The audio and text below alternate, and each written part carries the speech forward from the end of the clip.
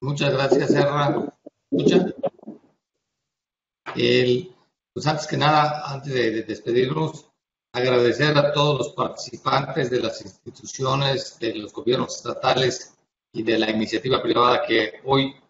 sumando su talento y eh, aprovechando la generosidad de su tiempo, ya podemos tener un panorama más concreto de lo que se puede esperar y cuáles serían las, las preocupaciones que nos ocupan para poder entrar a la etapa de recuperación y terminar la contingencia sanitaria. Y todos coinciden en que nuestro problema en la contingencia es la liquidez y posteriormente en la recuperación los recursos para poder reactivarse.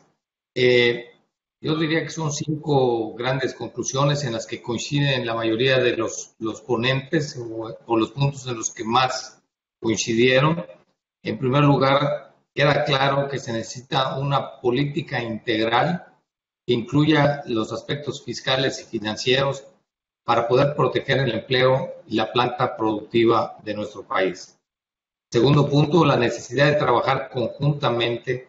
desde los estados y las empresas. De la misma manera en tercer lugar, hay una mayor vinculación con mayor fortaleza de las instituciones, tanto internacionales como nacionales, con la banca de desarrollo y la banca comercial, lo mismo que se podría hacer también con los gobiernos estatales.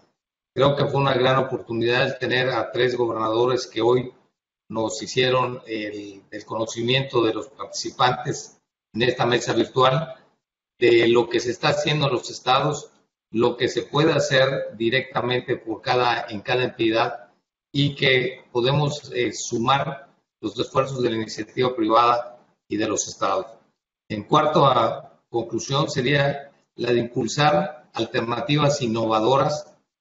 con los propios bancos, de, apreciamos en, en todo lo que vale las opiniones que nos dieron los presidentes de estas organizaciones los bancos, pero también incluir en el portafolio de soluciones las que proponen las instituciones bancarias, las de fintech, de tecnología y las SOFOMES.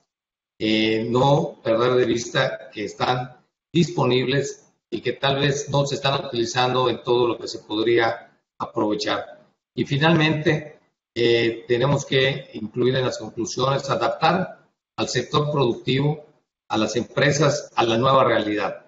con los cambios que tendremos después de la contingencia sanitaria en dos grandes eh, vertientes. La seguridad, incluye la prevención y la aplicación de protocolos para evitar nuevos brotes del coronavirus, y la innovación,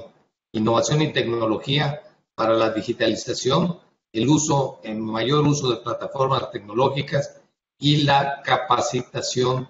para el nuevo tiempo que nos va a tocar vivir en esta nueva realidad.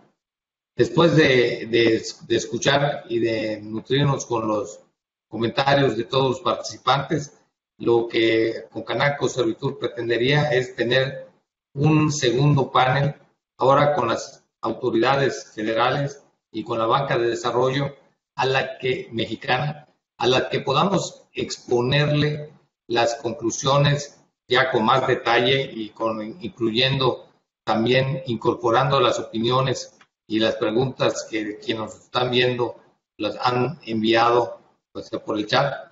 para, que podamos eh, darle vida a esta primera conclusión que es la de la política integral en la que necesitamos que se sumen gobiernos sectores productivos que incluye al empresarios y, sector laboral y la sociedad civil y la academia. Muchas gracias, Serra, y te felicito por este trabajo de conducción. Estamos terminando casi en el tiempo previsto.